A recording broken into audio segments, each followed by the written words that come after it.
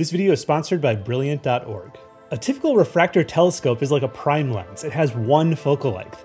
But unlike a prime lens, many imaging refractors have reducers available. These are usually optional, and they give the telescope a second effective focal length. Very few telescopes, mostly refractors from the Japanese companies Takahashi and Borg, have telescope systems with optional reducers, flatteners, and extenders giving one telescope or a telescope system three or more different focal lengths. This new telescope, though, the Askar V, is taking this a step further, and that Askar is selling this telescope as a modular system where you get everything all at once, nothing optional, and that system includes not only an extender, a flattener, and a reducer, but also two different front objective lenses, a 60 millimeter and an 80 millimeter. And with all these different combinations of parts, you end up with six different focal lengths, all the way from 270 millimeters at f4.5 to 600 millimeters at f7.5.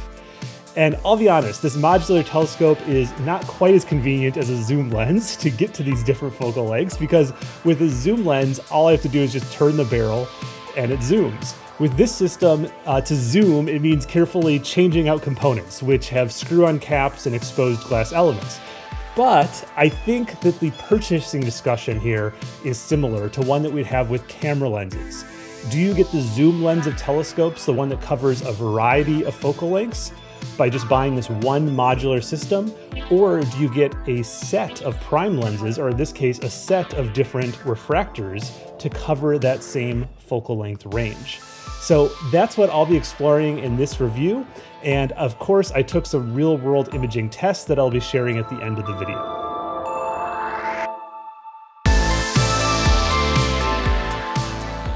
Hi, my name is Nico, and since this is a review, I'm going to start with a couple disclosures. Askar sent me this Askar V telescope.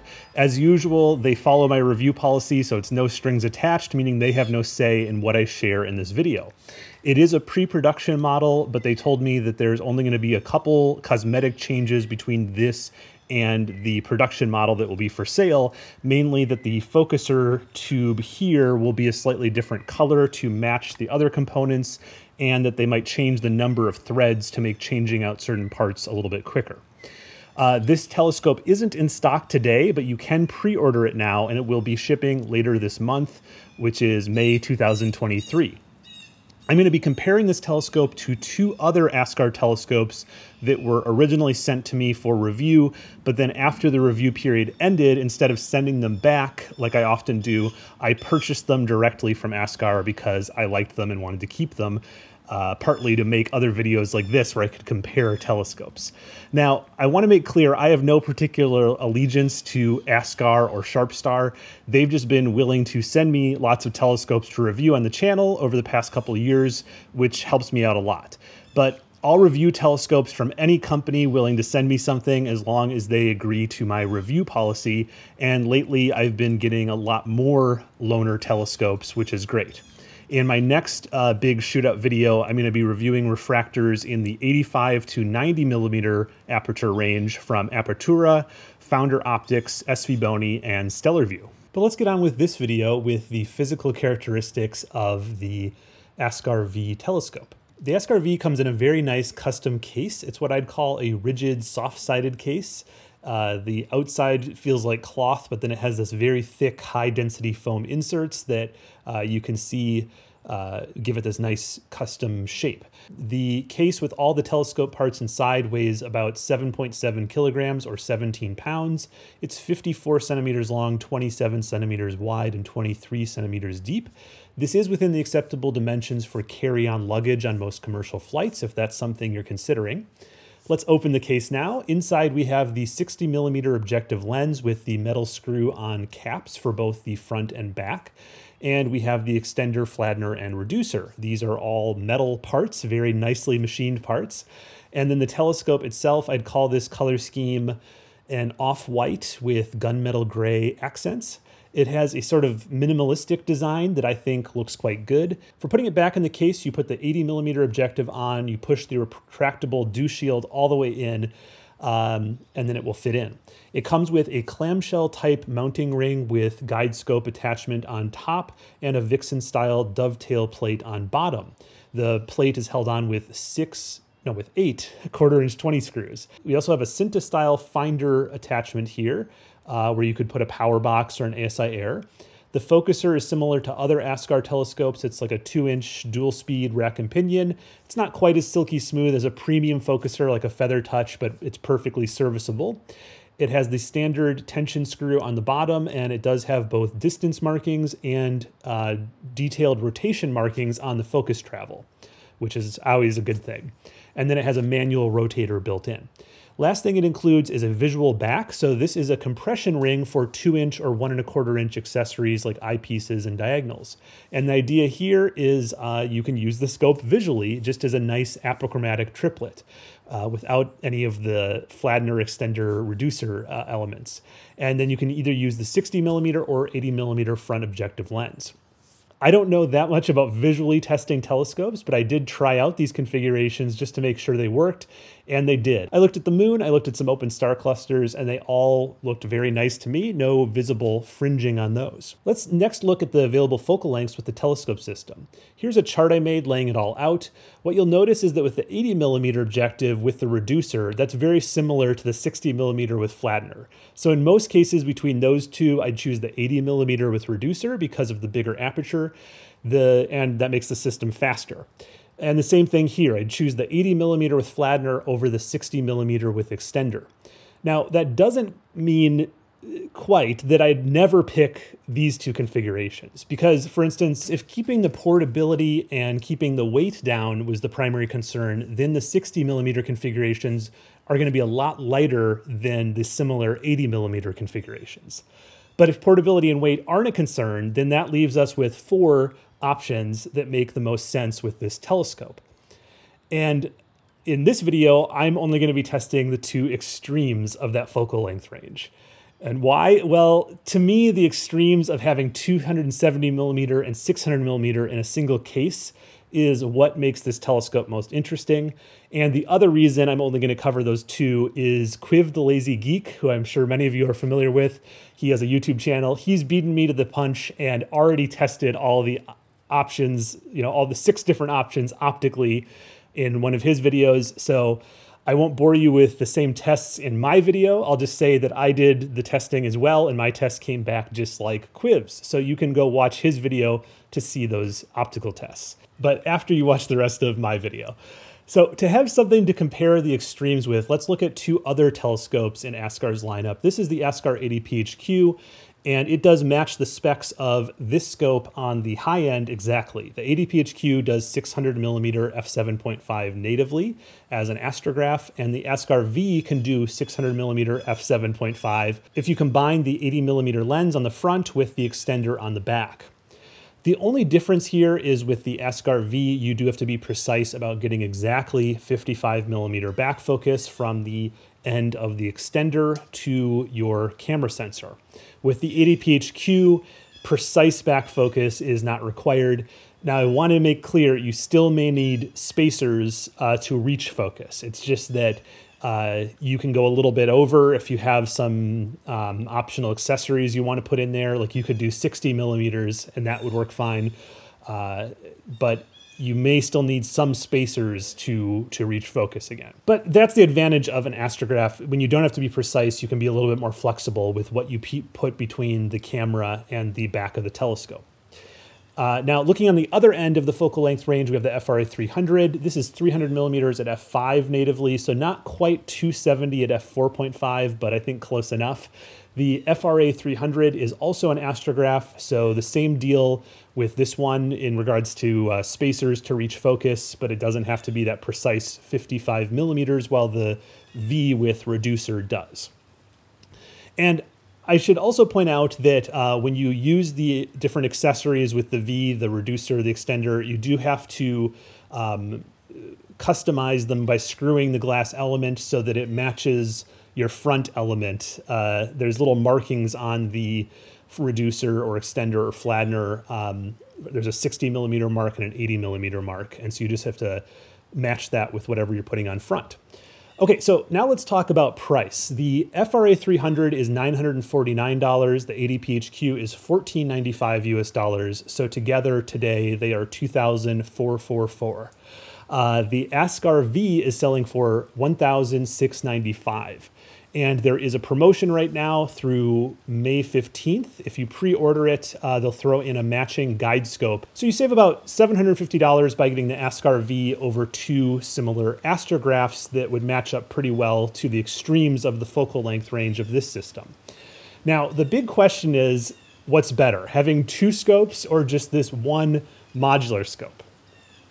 Well, to answer that, I think the first um, obvious question to me is are you completely nuts like me and someone who uh, scrambles to set up multiple complete astro rigs uh, each clear night? If that's you, then it's probably going to be better having two different telescopes because then you can get twice the data if you have two cameras and two mounts to go with those two telescopes. On the other hand, if you just have one primary camera and mount like a normal person, you, then uh, the Askar V is probably going to make more sense. The main thing it offers you is this flexibility in different focal lengths. So if you want to capture large deep sky objects in the sky without doing mosaics, which are difficult, uh, we can look at 270 millimeter with a crop sensor camera, and we could do the heart and soul in the same frame, which is pretty cool, or the entire spaghetti nebula, which is very hard to get with a telescope, but now there's actually lots of small telescopes that can do it. Well, something like uh, the Galaxy M33, that's going to be pretty small at 270 millimeters, but if we go to the 600 millimeter uh, option, then it's very nicely framed. And that's true of many objects. There's, there's, they sort of excel at different focal lengths. So we can get that kind of flexibility by buying two or more telescopes, but now we could potentially save $750 or more and just get the Askar V. So to wrap up this video, let's actually look at some comparisons to see if the Askar V holds up optically compared to these other two telescopes I've been comparing it to. Okay, here are the details for these tests that I'm about to show you. These were taken uh, from a Bortle 3 location with no moon out. The tests are all of the M81, M82 Galaxy pair, which are uh, well situated right now for me at 60 degrees altitude, so high up in the sky, uh, free of any kinds of uh, issues that we would have in the lower uh, atmosphere where we're shooting through a lot more uh, layers of atmosphere, and that can add uh, a lot of blur. These are all single three minute exposures. They were taken with the same camera, the ZWO ASI 2600MC, which is a crop sensor camera.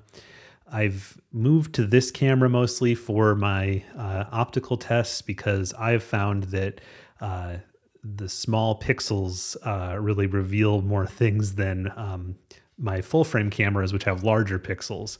So the ideal would be if I get a full frame camera with small pixels, but that hasn't happened yet. So maybe eventually I'll get there for these tests. But for now, I've been using this one because it, it reveals more. And then I would had these telescopes mounted on the ZWO AM5 mount. All right, let's get into it here. So I'm always going to be showing the competitor on the left and the Askar V on the right. So this is the uh, Askar FRA 300 full uh, scale. I can make that even bigger. Okay, just to give you an idea here. And here is the Askar V at 270 millimeters. Now you'll notice that uh, a couple stars here have a little bit of uh, a halo on them. I think that there the transparency wasn't perfect the night that I was doing this, so I expect that this is just from high altitude clouds and not uh, an actual uh, defect with the telescope. Um, but these are the only tests I've been able to do because it's been mostly cloudy weather, so who knows? But I think that's from bad transparency. Uh, you can see the field of view is slightly different. The Askar is a little bit wider at 270 millimeters focal length, while this one is at 300 millimeters. But nothing uh, is really standing out as being odd there. Let's look at the aberration inspector for these two. Again, um, nothing too interesting here, let's zoom in to like 400% though to see if we can see anything of interest.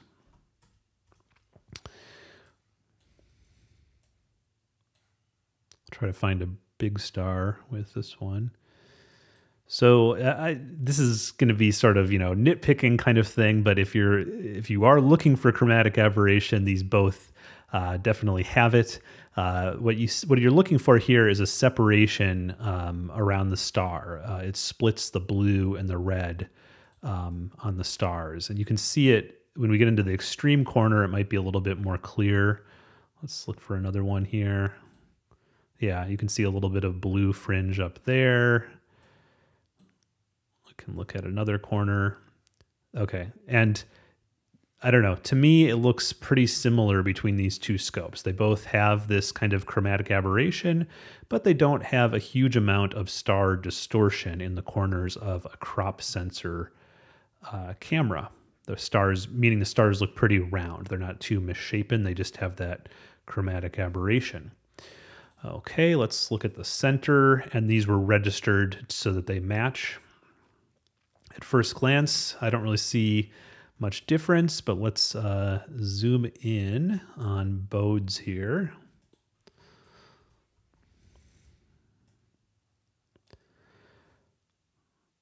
Okay, I do see a little bit of difference here. Um, hopefully this comes across in the video, but on the FRA 300, partly because it has a larger aperture, we're getting more contrast, uh, more um, detail in the Galaxy than we are here.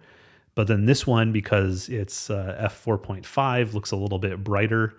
Um, the other thing that I'm seeing, which is a little bit alarming, is that on the Askar V, we are seeing a chromatic aberration even in the center of the frame, while on the Askar FRA 300 Pro, um, no chromatic aberration in the center. Now, this type of chromatic aberration that we're seeing on the Askar V, it, where it's it's centered around the star, it's just like a little bit of magenta fringing. It will get worse once you stack, but the good news is, is it's pretty easy to eliminate uh, with something like defringe tool in Photoshop or with um, some easy uh, little tricks here in PixInsight. So it's it's not something that would be a showstopper because you could remove it in processing. But it's always better not to have it in the first place. And I can see on all these bright stars, it's definitely showing up here on the Askar V and not on the Askar FRA 300. Okay, so that's the uh, low end of the focal length taken care of. Let's now look at the high end, uh, 600 millimeters. So here is the Askar 80 PHQ. And here is the Askar V at 600 millimeters. Okay, and then we'll look at both of them uh, with the aberration inspector. Let's uh, zoom in to see if we can see any difference.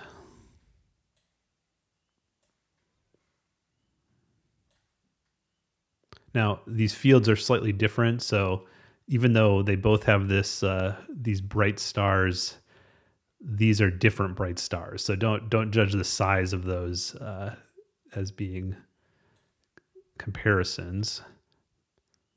But I'm just sort of looking for some stars to compare, and I don't. I think that's just noise. I'm not really seeing any chromatic aberration here, um, which is here. This is a good example.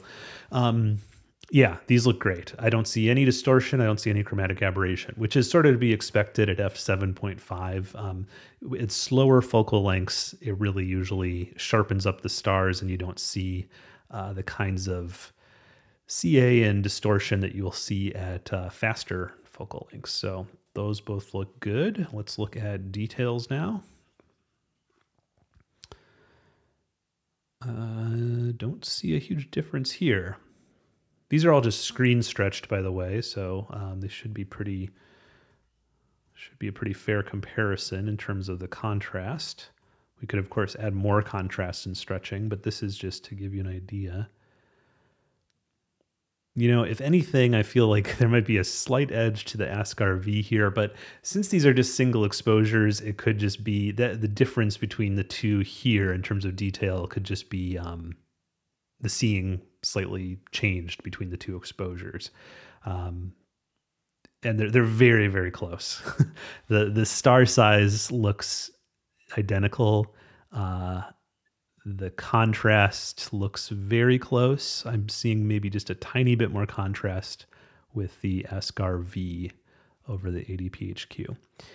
But uh, so close that I would say uh, in this in this instance, the Askar V sort of has the same characteristics as the PHQ. So you wouldn't need both the PHQ, the 80PHQ, and the Askar V. With this one, the um, FRA 300 versus the Askar V. It's they're a little bit different, but that really could just come down to the different specs, right? Uh, F5 versus F4.5. But uh, this one I'm not quite as excited about, just because of that that magenta chromatic aberration, which here in a single exposure is just going to look very mild. And you might be like, what is he even talking about? But I know that this is going to get uh, worse with stacking. Uh, so it's just it's just something to take care of in processing. It's not again, like I said, it's not the end of the world. While I focus on astrophotography on this channel, I am also fascinated by astronomy and astrophysics as I'm sure many of you are. So, um, for that reason, I'm very excited to be sponsored by Brilliant. Brilliant.org is a website with very engaging, interactive lessons for learning science, math, and computer science in a really fun, engaging way.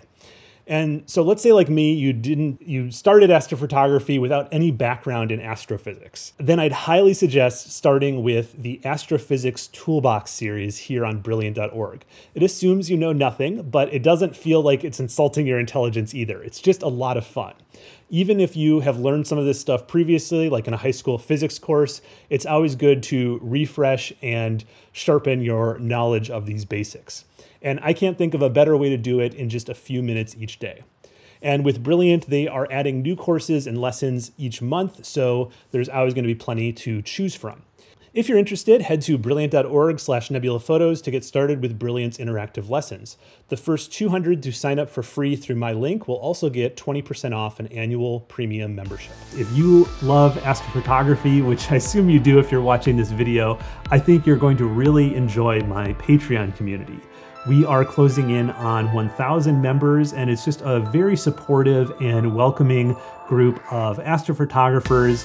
They're all very open in you know sharing knowledge, and we do a lot of really fun things together. We do uh, Zoom calls, uh, monthly imaging challenges, a bunch of uh, private channels on my Discord server where people are talking all the time.